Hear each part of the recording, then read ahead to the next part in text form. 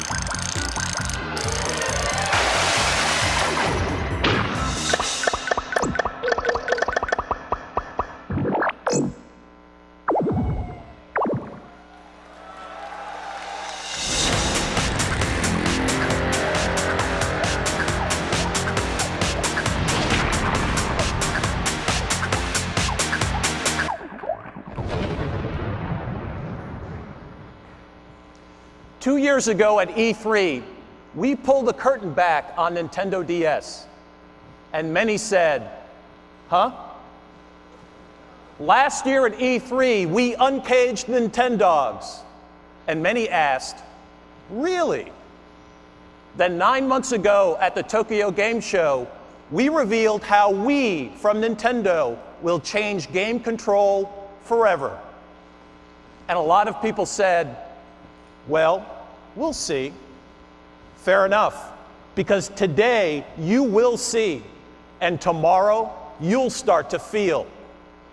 Welcome to the next leap in gaming and Nintendo's 2006 media briefing, where we have, where we have answers to some questions, but deliberately not to all. Because our purpose this week is not to fill your left brain with information, but to jolt your right brain with inspiration. Let me start with a couple of questions for you. Do you know anyone who's never watched TV, never seen a movie, never read a book?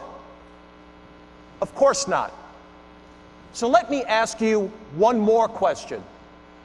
Do you know someone, maybe even in your own family, who's never played a video game? I bet you do. How can this be? If we want to consider ourselves a true mass medium, if we want to grow as an industry, this has to change.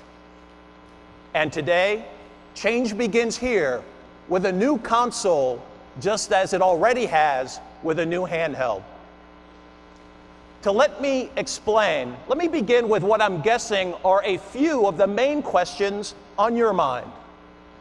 First, the system. Why did you make it so different?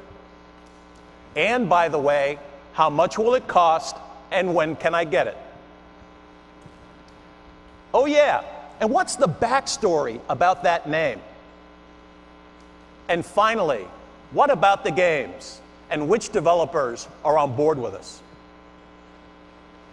As many of you know, Nintendo's way is to challenge conventional thinking, not just for the sake of doing things differently, but to do things better.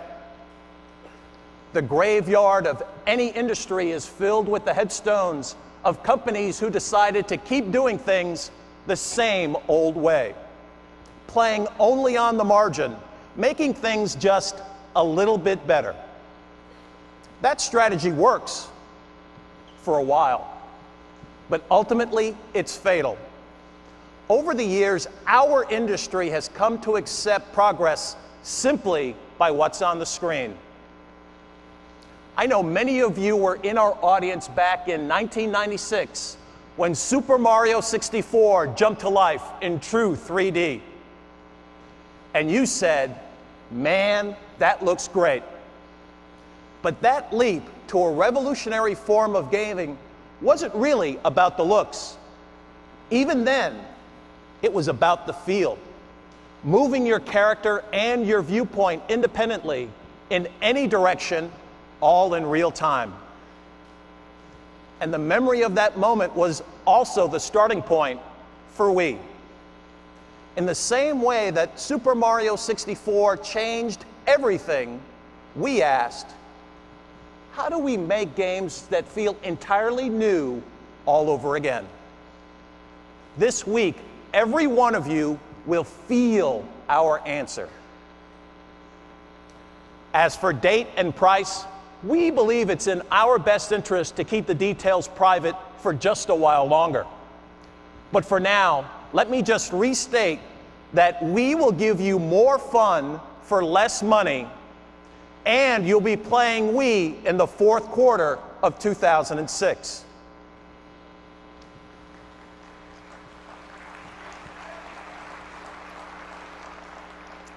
Okay, next, the name. First, we want to thank everyone who wrote good things about it the day you heard it.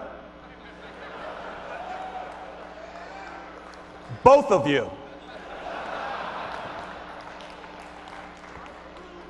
But seriously, the response didn't surprise us at all. At first, every distinctive name sounds strange.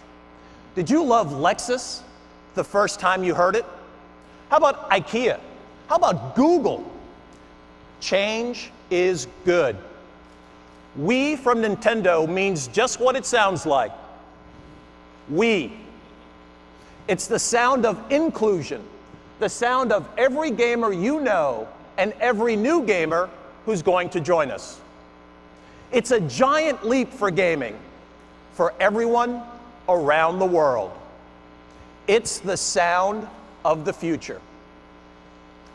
As for the last question, what about the third parties? Well, we'll be talking about them in detail in just a few minutes and showing you much more on the show floor tomorrow. For now, let me just say that on behalf of the names you love from Nintendo and our partners, we can't wait to show you what's on the way.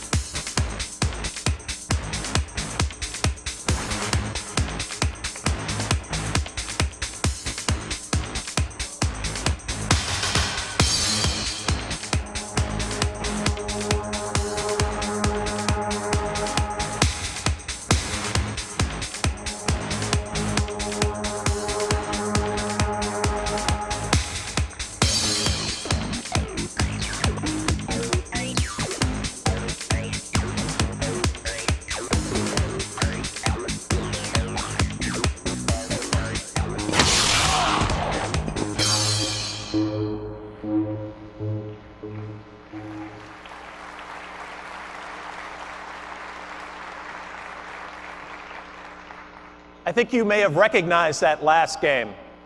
It's called The Legend of Zelda. But this one is different. It is by far the best Zelda game we've ever made. And it's also the most beautiful game Nintendo has ever made. But just as importantly, it's breaking precedent. Because this is the first Zelda game that will be right there on launch day alongside a new Nintendo system.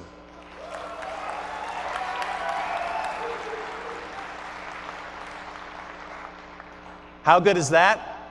I know you'll make that judgment for yourself, but there's no better time for a first look than right now. So please welcome Nate and Bill from Nintendo of America to host the world premiere of The Legend of Zelda Twilight Princess playing on the new Wii. Thank you, Reggie. Good morning, everyone. Are you ready? Nate and I are very happy and honored to be able to show all of you exactly how you're going to be playing Zelda this year on Wii. Very basic control is going to be very familiar to anyone who's ever played a Zelda game. Your movement is handled with the analog stick on the nunchuk. Link's arsenal of items is going to be mapped to the plus control pad on the Wii remote. And Zelda's patented targeting system will be handled using the Z button, also on the nunchuk in the left hand. But the Wii version of Twilight Princess takes advantage, of course, of the unique controller. It provides new, unique, and intuitive feel to the gameplay. And that's what makes it great. The first thing you'll notice on screen in the Wii version is the presence of a fairy. This fairy indicates where you'll be pointing with the Wii Remote's pointer. You'll use this on a very basic level to access all of your menu screens, select your items. It's very intuitive, it's very nice, it's very easy to use, and I think you're all going to like it.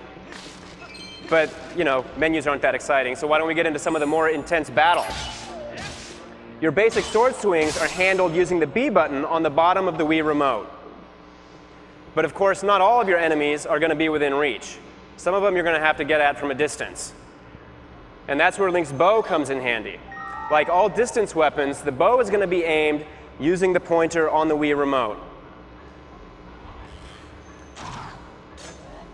Now, as Nate's showing us here, as you aim, there's a circle in the center of the screen. Within that circle, your targeting cursor moves independently.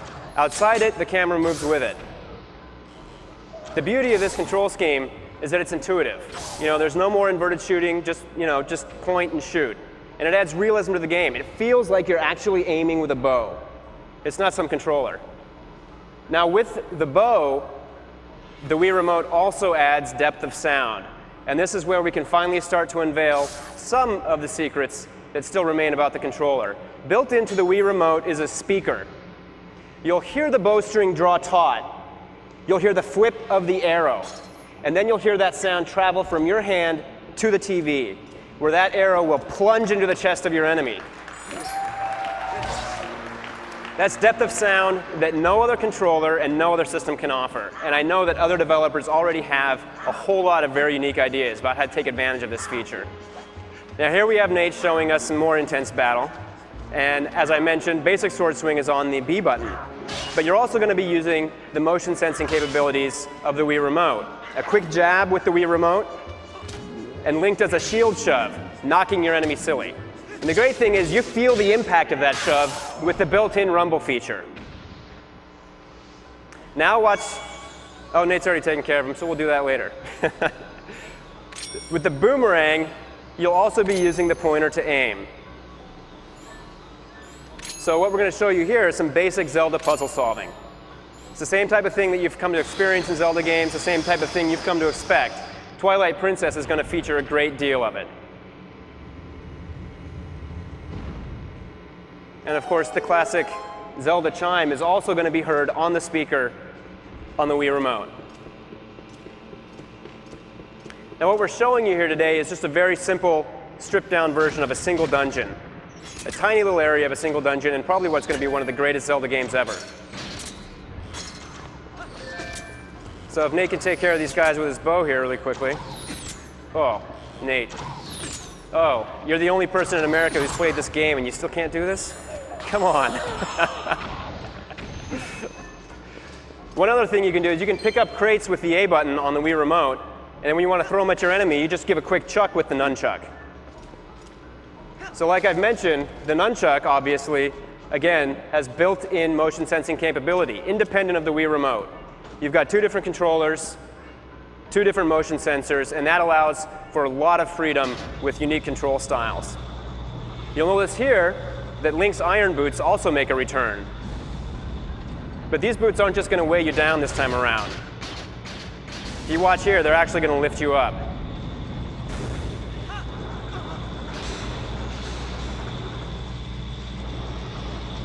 Magnets can be fun. Who knew? So again, the E3 version is just a very compact dungeon. It's also been toned down difficulty-wise because we want to make sure that all of you out there who have never played a Zelda game, because I'm sure there's plenty of you, can make it to the end. But now that we've talked about the basics, we'll kind of let Nate run through, show us some more intense battles, and, uh, and then take you to the end and see what else we have to show you.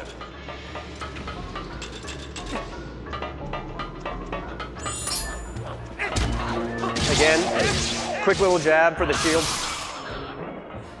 Quick rotation for the spin attack, you'll notice there. Also on the nunchuk. There's a little more puzzle solving. So again, quick rotation with the nunchuk for the spin attack, and then you just stab down with the nunchuk, and Link will do his down thrust, finishing your enemies off. And let me tell you, that feels really good.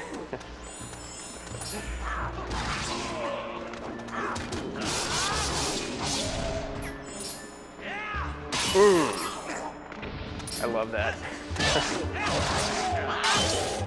now, because you're all big Zelda fans out there, we don't want to spoil everything for you.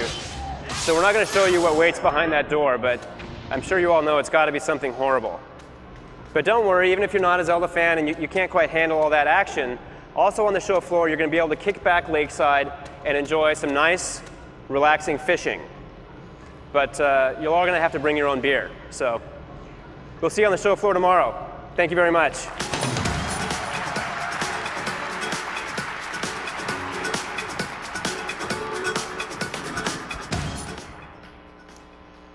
This Zelda, of course, is the first ever to feature unique freehand control.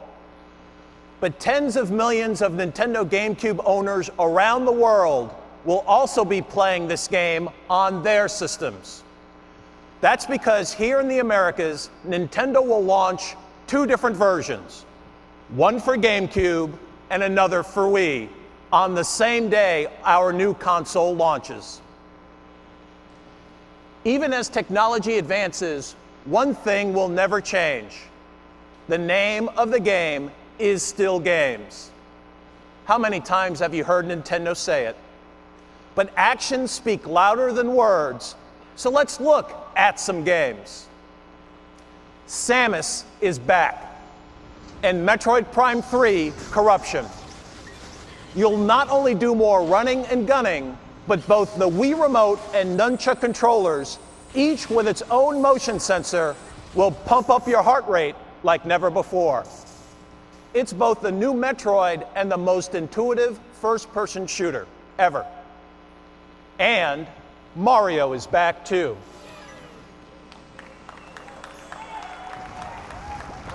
His brand new adventure for Wii is called Super Mario Galaxy. And with freehand control, Mr. Miyamoto has given Mario moves he's never had before. Swing your hand to bat away objects, grab onto shooting stars with the pointer, swim through space, and skip along the stratosphere. We said this new system represents the next leap in gaming. But can it truly be new if all the names are the same? Of course not. That's why we're hard at work on new franchises to expand our portfolio. And we like to give you three early previews this morning. First up is Excite Truck. Most of you recognize the pedigree, but what you won't recognize is the method of control.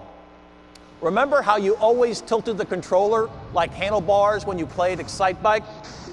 Well, now you're holding the steering wheel of a big damn truck. And the terrain deforms beneath you in real time. This feels like driving. Next, isn't it just fun to bash things? In Project Hammer, swing the controller and the bad guys get nailed. But what happens if the bad guy is Mother Nature? Survive or not, it's your call in disaster, day of crisis. Come feel the panic and bring the catastrophe under your control. Obviously, game creation inside Nintendo is important. But just as important is what's coming from our great third party partners around the world. Independent developers have been hard at work in Japan. And although we won't be spending a lot of time today detailing their projects, we did want to underscore a couple of excellent examples. When Sega saw the new control system, they said, it's time to put Sonic back into gear. Finally, the Speedster is totally under your control. Look up, the mothership is about to land, and Square Enix is arriving with an exclusive iteration of its legendary series with Final Fantasy Crystal Chronicles. Yet again, we will take what is familiar and reinvent it. And Hallmark franchises are also on the way from this side of the Pacific. You may be a veteran all pro playing EA's Madden football, but with freehand control, reinventing everything from the snap to the drop back to the pass to the run after the catch, you'll feel like a lively rookie all over again. And grinders know it's all about balance. And with Activision's Tony Hawk, we will transmit that reality right to the palms of your hands. And Rayman's traveled to many platforms for Ubisoft over the last 10 years. But if you think you know Rayman, wait until you see him with Wii. And THQ's SpongeBob also gets the makeover he's always longed for with freehand control. There is great stuff on the way. And while we're not going to specify a launch number this morning, you'll be playing 27 different Wii games tomorrow on the show floor.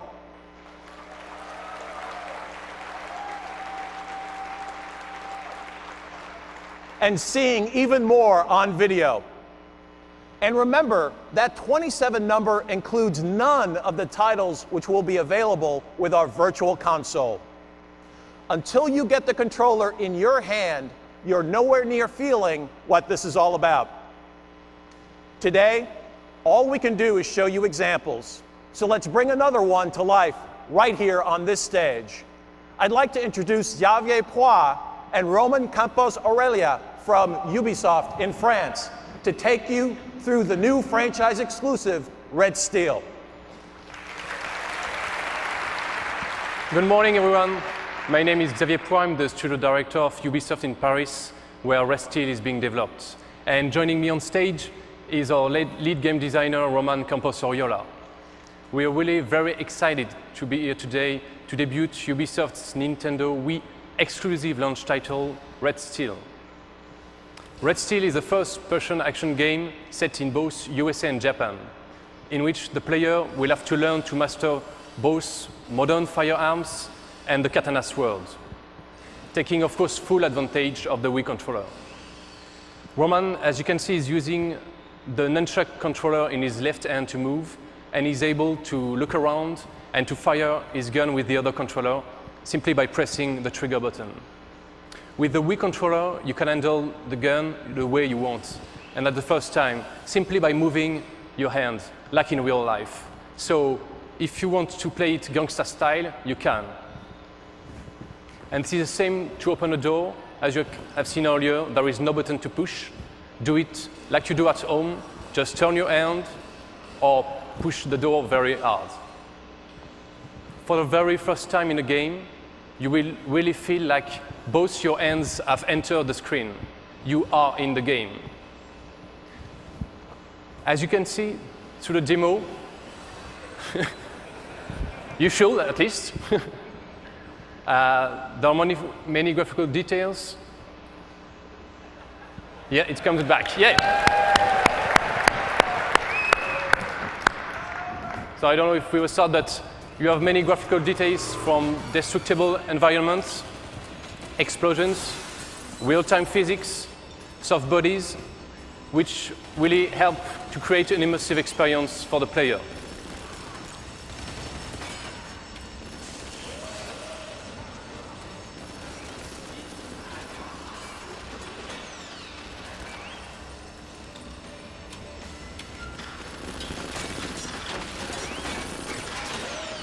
So this is a little warm-up with enemies before we go into more details.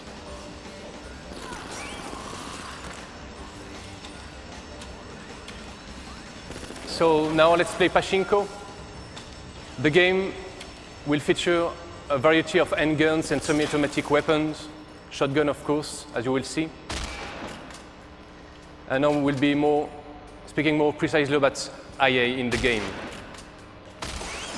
So once again, destructible environments, And enemies, surprisingly in a game, really care for themselves. That means that depending on their level of trust, they will hide themselves, they will go for cover, and they will try to attack you from the back and try, of course, to control the situation. That will help to keep the action fast-paced.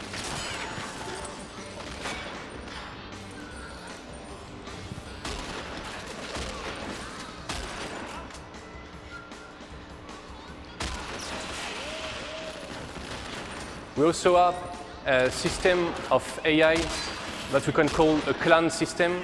That means that when the enemies have a leader, they will rely on him. So if he has been disarmed by the player, or if he has been, has been killed, sorry, uh, then they will act differently.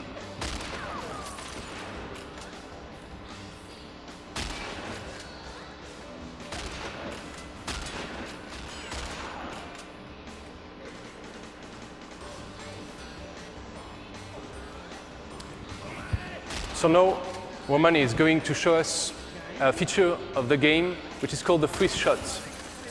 This feature will be very useful in tricky situations. So simply by holding a button, the player will be able to freeze time and then will be able to tag weak points on enemies. You then will have to choose between killing those enemies or making them submit to you.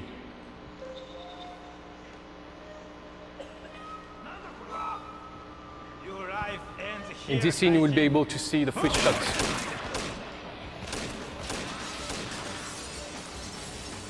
Once again, destructible environments everywhere in the game.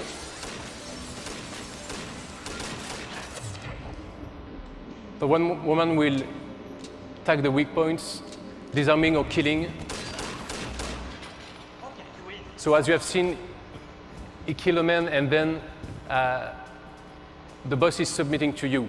Then you can decide on what you want to do. Sit down, for instance, like this, just simply by moving your left hand to indicate what you want him to do. We have God rays. Oh. Little surprise, collateral damage on the boss.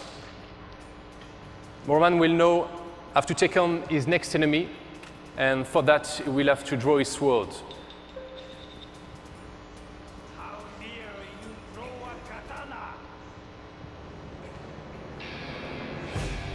So once again, the moves you have to make for the sword fighting are very intuitive. You can block with your left hand and slash with your right hand in any directions. That means that you will have dozens of combinations to do.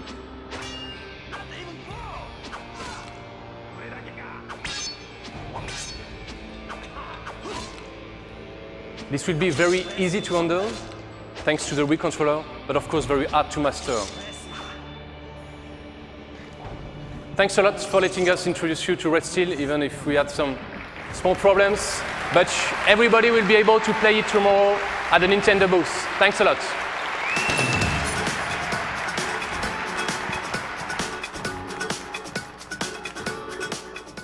Thank you, Xavier and Roman, for the demonstration.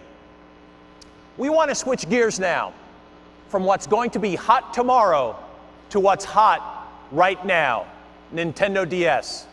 Please welcome our Senior Vice President of Marketing and Corporate Communications, George Harrison. George?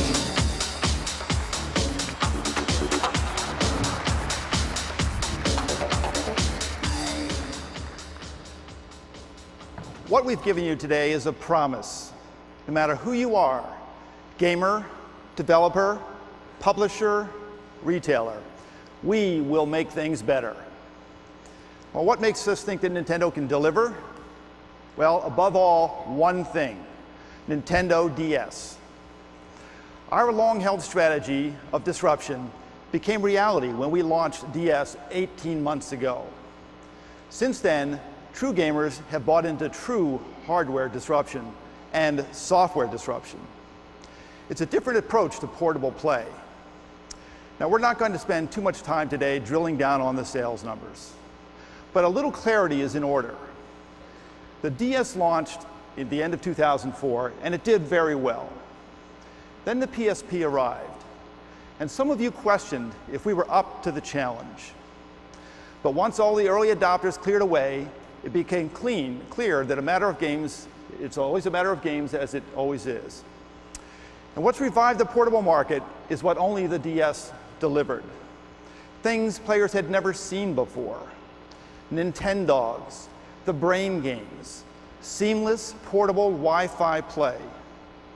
The result is this. In terms of actual sell-through to players, the DS has sold more than 16 million units worldwide since its launch just 18 months ago. Now, independent sources put total worldwide PSP sell-through to consumers at millions less. Millions less. But even more important is our growing momentum. First came Nintendogs. More than 6 million copies were sold to players around the world in just 13 months. Then we launched Nintendo Wi-Fi Connection, the most accessible game network ever created for dedicated gameplay. Easy and free is a pretty persuasive offer. And the player response proves it. 1.3 million discrete Wi-Fi connection users so far, totaling over 40 million gameplay sessions. And all this in less than half a year.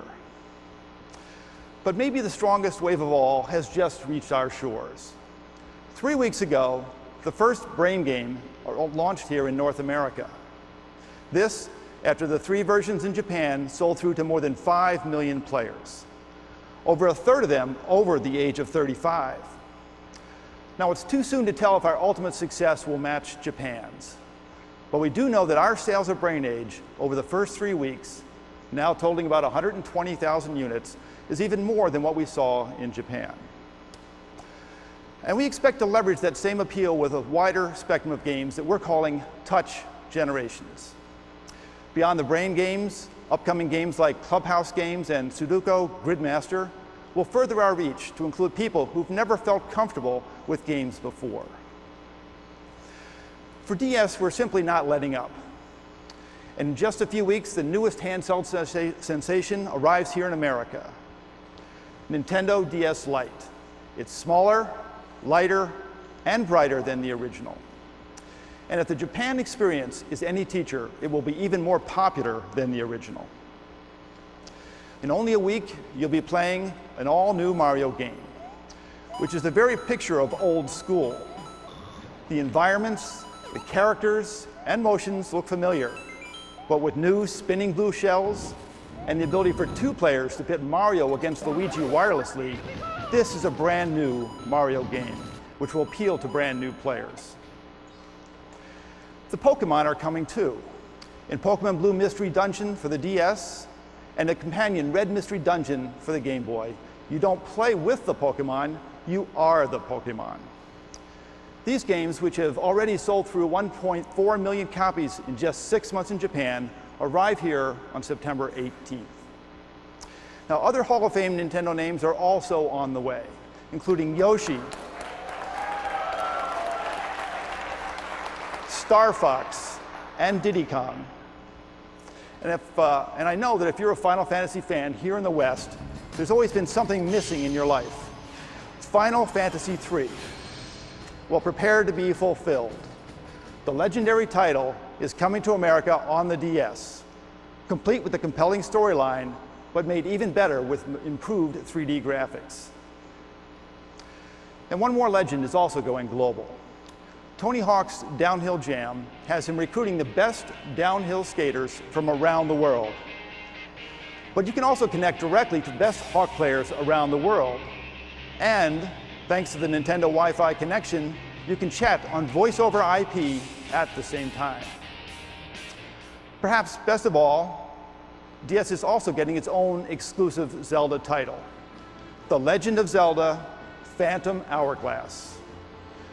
Picking up where Wind Waker left off, you'll now use your DS stylus to direct sailing, swordplay, and even the path of your boomerang. The DS is set to soar to the next level. In all, there will be more than 100 new games from DS from now until the end of the year. Take a look.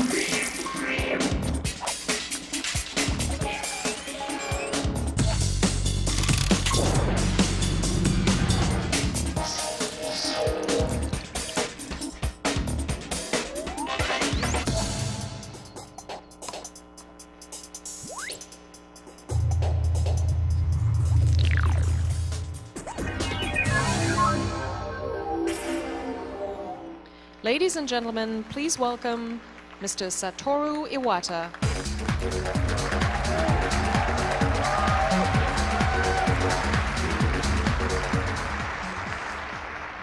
Thank you and good morning.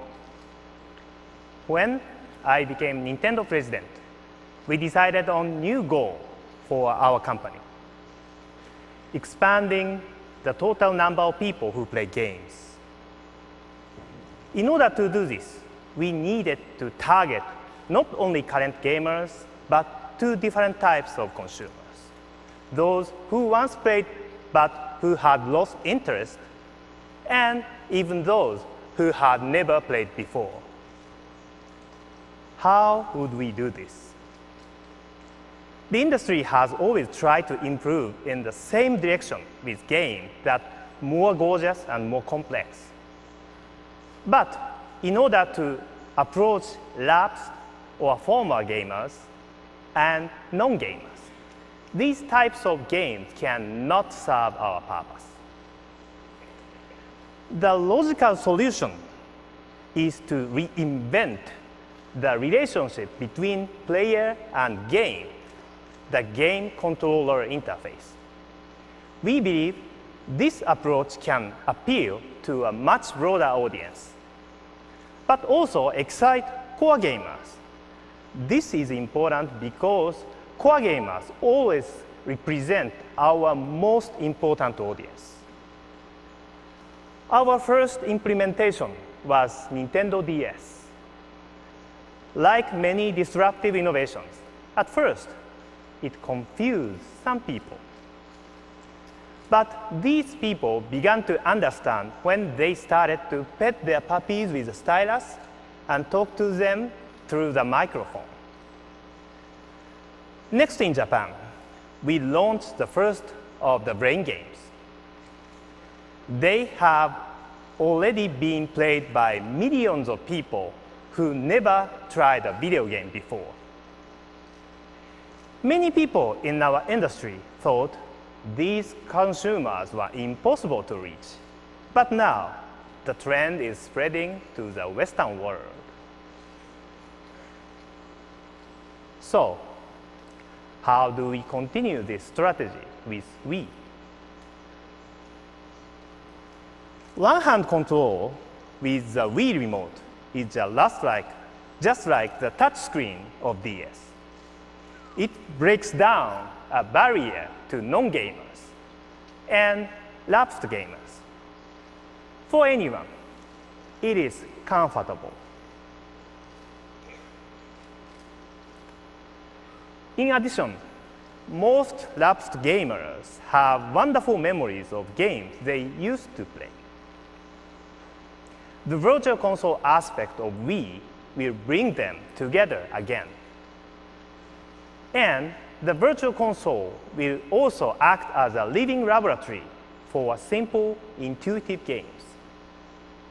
Using the creative approach with the Wii Remote, control, and the business model of the virtual console, maybe a game like Tetris can be feasible once again.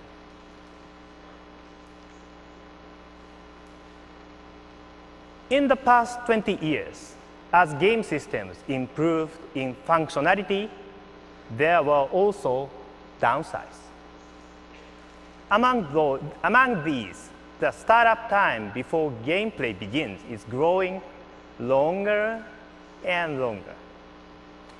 I have been planning, developing, and playing games for a long time, and I still love all of this. But these days, I am busier, busier than ever. And if I have to wait 30 seconds or 40 seconds or more for a game to load, often I get frustrated, and sometimes I just cannot wait. And now that I know I can instantly stop or start playing my DS by just closing or opening the top, I think I am spoiled. Maybe this has happened to you too. If serious gamers find these delays frustrating, how can we ever expect the mass market to show more patience than we do? Unless we change, we can never increase the gameplay population. The Wii console will also help solve this problem. It can power up virtual console games and applications like our Opera web browser saved to flash ROM, almost as fast as telephone or television, in just a few seconds. And let me describe one more hardware feature. No game console, no matter how powerful, serves any purposes when it is turned off. So we designed our machine to provide owners a variety of services even when it seems like it is turned off. We will become the system that never sleeps. Using a design called WiiConnect24, the console automatically enters standby mode without the fan running but still operating key functions and using about the same power of a miniature light bulb. Importantly, this means the Wii console can be constantly connected to the internet. For you hardcore gamers, this means developers can push a new weapon or vehicle or level to you even while you sleep. For beginning gamers, just starting with something like Animal Crossing, anytime the console is in standby, they may return to find that a friend has visited their village and left a message or a gift. And other developers will configure their games so that players will receive the game elements or information that the designer wishes. And programmers won't need to write a single line of code. Networking software is included in the hardware. And developers can decide to add these functions at any time. What we are aiming for is a system that is new every day. Then, finally, the most difficult job is to reach people who have never played before. To approach them, we need to remove several walls. New controllers and virtual consoles are important, but most important is software that these people will really want to play. These games would allow core gamers and non-gamers to happily and immediately compete against each other. What kind of game can do that? Among the examples you will play tomorrow is Wii Sports. This is a combination which will include tennis, golf, and baseball in one package. It will be available on launch day. Beginning players will find control with the Wii Remote intuitive and appealing.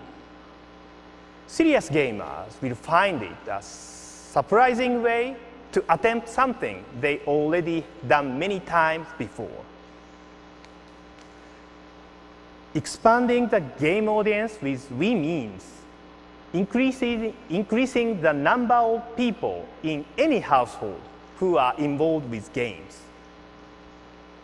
Today, there are people who play and people who do not. We will help destroy that wall between them. Regardless of age, gender, and game experience, anyone can instantly understand Wii. And we can provide anyone with fresh, new experiences. Every day, there is something new for everyone, every day. This is our answer. Thank you very much.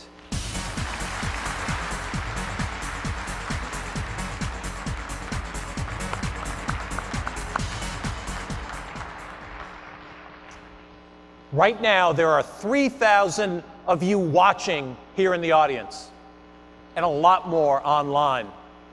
And we'd like nothing better to invite you all up on stage to play. While we can't do that for everyone, we can make that happen for one person.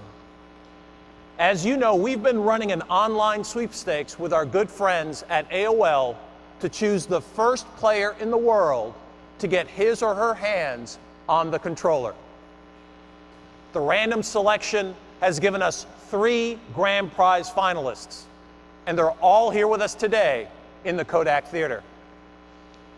Mr. Miyamoto himself has chosen the winner at random, and he's put the name inside an envelope, just like it's always done up here at the Academy Awards. Now, please join me in welcoming Mr. Shigeru Miyamoto with the announcement of the final sweepstakes winner.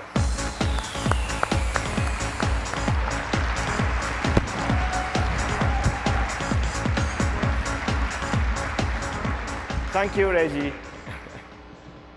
But before I pick the winner, I should explain how we will play.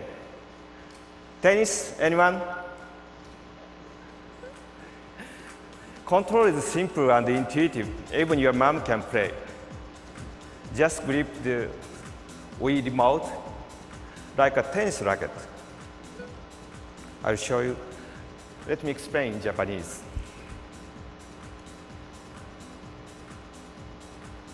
Toss up. To serve, you just toss and serve. One swift stroke. One hand, You hit forehands, one hand, forehands, Backhand. backhands. robin, You can swing low to high to hit lobs.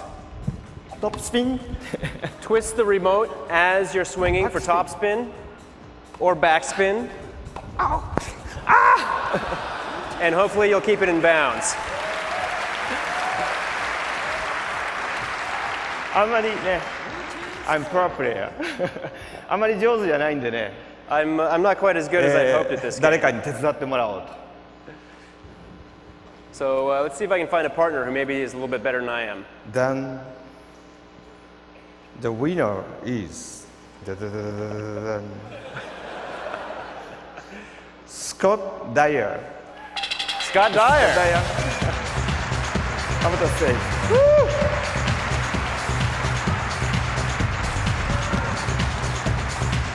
Congratulations. Congratulations. Please join Mr. Miyamoto. Congratulations. May I ask you to be my partner in the next game? Why don't you stand on the other side of Mr. Miyamoto? レジさんもない誰か相手がいるんじゃないですかね。 Why don't we, uh, Reggie, why don't you come out? Do we have uh, anybody that we could possibly play against? Yeah, I think I could find someone to play. I think we're ready to go. Mr. Iwata, maybe this year I can just take the names and you can kick the, Go ahead and you uh, run your know. hand through the strap. Yes, of course. That is my job. wow. So play around. Looks, uh, looks like we've got Mr. Iwata both here on stage and in the game. Go for it. Okay.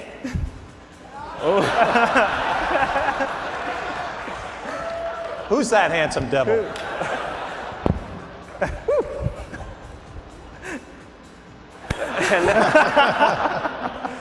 and there's our winner. Okay. So we've got uh, Mr. Miyamoto and his partner on the left side, and we've got Reggie and Mr. Ah! Miyamoto oh. on the right. so again, toss and serve. Look forehand, backhand. Oh! oh! Game point. Uh-oh. As you can see, this is a quick, shortened version of tennis. Three points and, uh, and you lose. So let's see if our, uh, our executive team here can make a comeback. Oh, no. もう一回やりますかもう一回やります。 That was quick. Maybe, maybe we, need- we should need a give these guys rematch. another chance. じゃあこっち言います。 A little rematch. リマッチ Come on. Nice serve. Oh, nice. Oh, oh, Reggie. Good. Oh, very good. You know, I, I would have thought you'd have a little more power in that, Reggie. Oh. Oh. You're, you're distracting me. What is this?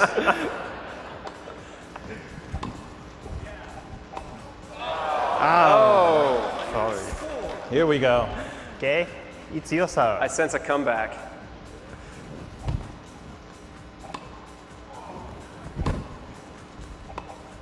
Oh, tied game. 頑張るぞ。よし。 Nice. Mr. Miyamoto, you pulled it out in the end. What a shot. Very good. We'll gra- gather in the middle. 勝ちました。 What a great match. Now, of course, Scott got his chance on stage here today, but all of you are going to be able to play tennis tomorrow on the show floor. Just uh, be sure to wear some loose clothing so you can really get into it. Thank you very much. Thank you. Thank you very much. See you tomorrow.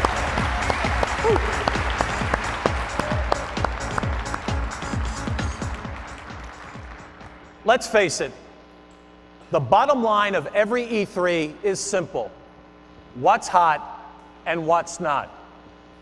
Here's our take what's hot is the feel of the game, the look is secondary. What's hot is the next leap, not just a small step. It's hot if it's disruptive, it's not if it's predictable. The future of our industry is inclusion, not exclusion. It's about the heat of emotion, not the chill of technology. We know that the future is right here. Wii and the DS represent the same thing risk. Risk allows progress. We're a company that doesn't run from risk, we run to it.